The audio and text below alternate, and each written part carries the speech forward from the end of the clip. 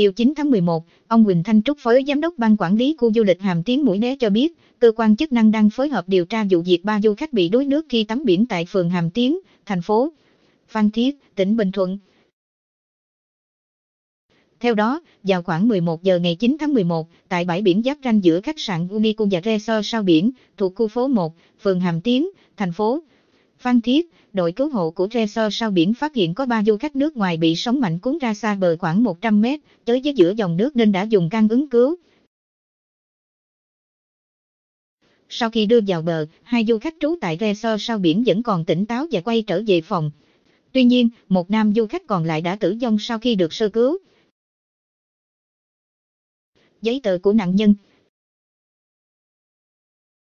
Nạn nhân được xác định là ông Railo Kiriyito, 60 tuổi, quốc tịch Nga đến du lịch Mũi Né cùng đoàn và lưu trú tại khách sạn Unico từ ngày 6 tháng 11.